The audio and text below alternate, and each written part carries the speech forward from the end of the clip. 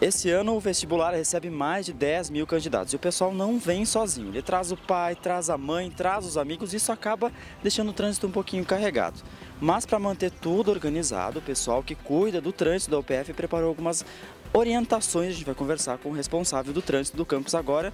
Então, quais são as orientações que o pessoal que chega no campus tem que tomar na hora de chegar e estacionar os carros? Certo. Ah, o primeiro pedido que a gente faz é que o pessoal chegue cedo.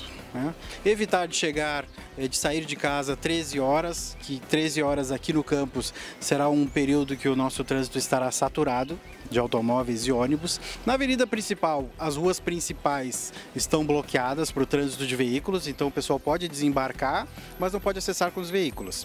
Temos dois pórticos de entrada, que é o pórtico principal e o pórtico do portão secundário próximo do Hospital de Olhos. Então o pessoal que vem de Carazinho já pode utilizar aquele local ali para acessar se assim desejarem. Existem alguns pontos específicos para estacionamento dentro do campus? Sim, nós temos eh, um número muito grande de vagas ainda disponíveis, mas elas tendem a se reduzir conforme o passar do tempo. Próximo do prédio da reitoria, nós temos em torno de 150, 180 vagas ainda disponíveis. Também, do, do lado do prédio da biblioteca, nós temos ali em torno de 150 vagas para automóveis ainda disponíveis.